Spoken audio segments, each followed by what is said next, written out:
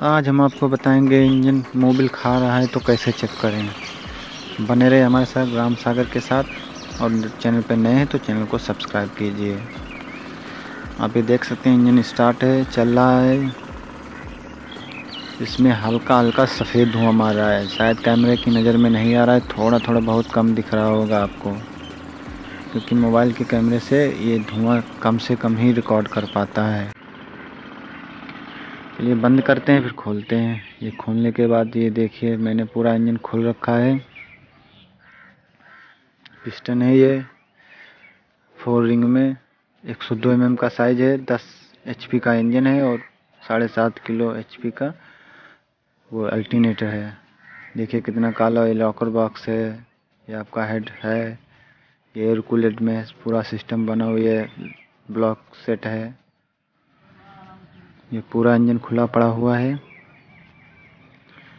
इसे मैंने सिर्फ़ मोबिल खा रहा था बार बार बार डालना पड़ता था। इसीलिए मैंने खोला। ये कस्टमर की शिकायत थी कि ये मोबिल खा रहा है। चलो पहले ब्लॉक सेट को अच्छी तरह से साफ़ कर लेते हैं।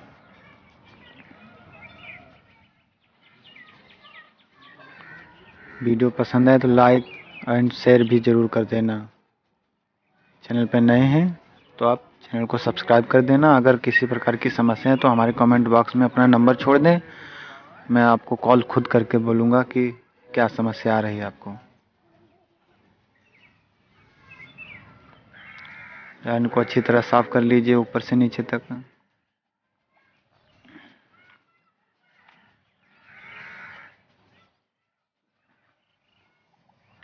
पिस्टन को भी अच्छी तरह से साफ़ कर लीजिए। इसके रिंग ग्रुप को भी अच्छी तरह से साफ़ कर लेना, क्योंकि इसमें रिंग भी अटक जाती हैं कभी कभी ऐसा। तो ऐसे अगर चढ़ाओगे तो आप रिंग अंदर नहीं जाएँगी लाइनर के अंदर। चढ़ाने में भी दिक्कत आएगी और टूट भी सकती हैं। तो रिंग ग्रुप को अच्छी तरह से साफ़ कर लें, उसमें कार्बन ना रहे। जितना लगा हो पहले का, पुराना उतना ही हो।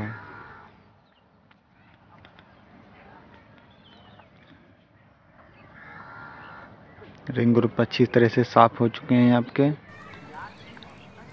ऊपर से थोड़ा थोड़ा रिंग से ही साफ़ कर दें क्योंकि रेग माल से ज़्यादा पिस्टन कट जा, कटने के चांसेस रहते हैं। तो रिंग से ही अच्छा रहेगा कि उससे ही हल्का हल्का कोयला छोड़ा दे। ऊपर का टॉप साइड का भी कार्बन छोड़ा दीजिए। क्योंकि खुला हुआ है, सफ़ाई जितनी आप अच्छी तरह कर लोगे उतना ही अच्छा आपका काम करेगी।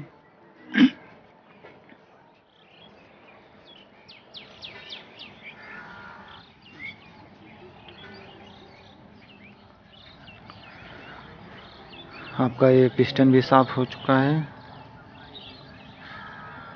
आप चैनल पर नए हैं तो हमारे चैनल को सब्सक्राइब ज़रूर कर देना, क्योंकि मैं ऐसी तरह के ही वीडियो आपको देता रहूँगा। चलो फिट करते हैं अब। ये ये आपका standard standard size C L brass T V on size का है। आप देख लीजिए। अभी नया पहली बार जनरेटर खुला हुआ है। सी एल का मतलब है कॉपर में इसे बोलते हैं कॉपर के कॉपर लेवल बोलते हैं।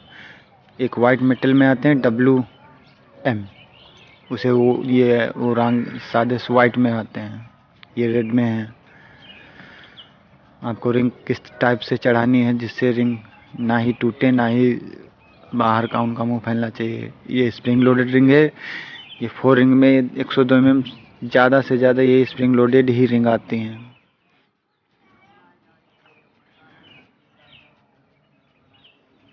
आयलिंग आयलिंग को अच्छी तरह चढ़ाएँ, क्योंकि ये अंदर से पोला भी होती है, टूटने का भी डर रहता है।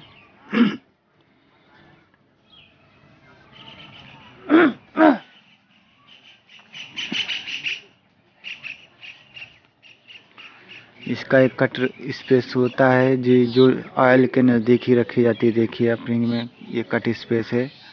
ये कट पे, कट स्पेस नीचे की तरफ़ रखा जाता है रिंग को। ऐसे रखा जाएगा। ऐसे ही आप चढ़ा दीजिए।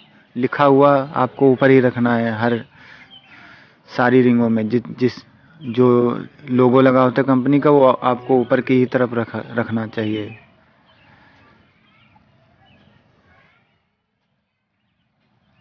आप अच्छी से लगा के फिर इधर उधर घुमा दीजिए ताकि हल्का पतला थोड़ा कार्बन भी लगाओ वो छूट जाए, साफ़ हो जाए।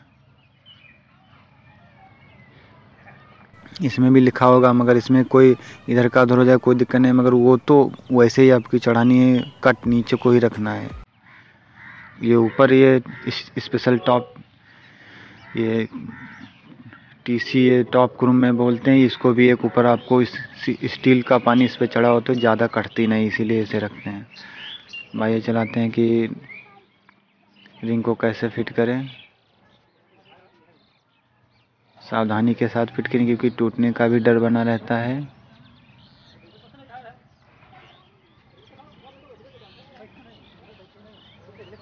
अगर वीडियो पसंद आ रहा हो तो चैनल को सब्सक्राइब ज़रूर कर देना।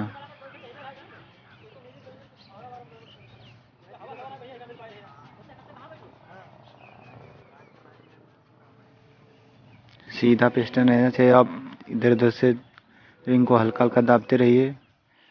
मोबिल नया नहीं था, नहीं आपको साफ़ दिखाई पड़ता।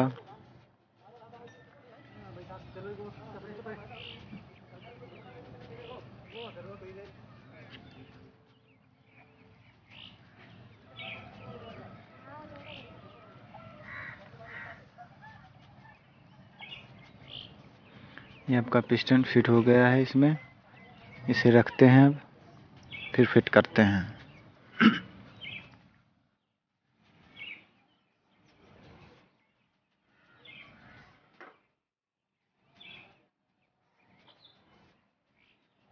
उस ब्लॉक को टाइट करते हैं।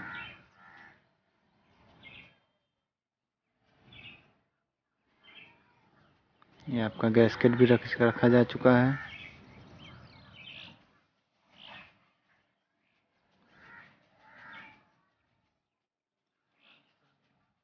ये थोड़ा थोड़ा टाइट चेक कर लेते हैं, क्योंकि चेक करना भी ज़रूरी है।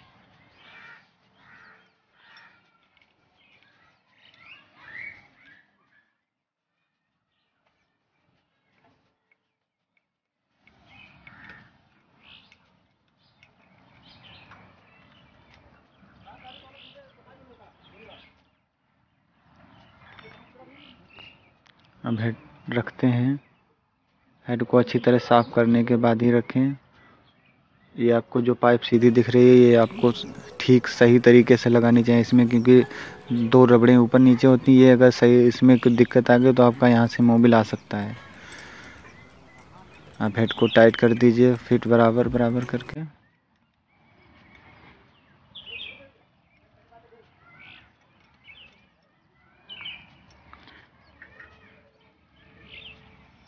इसका लॉकर क्लियर करके, इसका लॉकर भी, इसका पम्पलेट भी बन चुका है। लॉकर भी आपका फिट हो चुका है। अब एयर बॉडी को बांधने के बाद ही मैं आपको मिलूँगा, क्योंकि इसमें कुछ देर लगेगी हमको एयर बॉडी सेट करने में। एयर बॉडी बन जाए, फिर मैं आपको स्टार्ट करके दिखाता हूँ। आपकी एयर बॉडी भी फिट हो गई है। अब इंजन स्टार्टिंग के लिए तैयार है। वीडियो अच्छा लग रहा हो तो चैनल को लाइक सब्सक्राइब कर देना।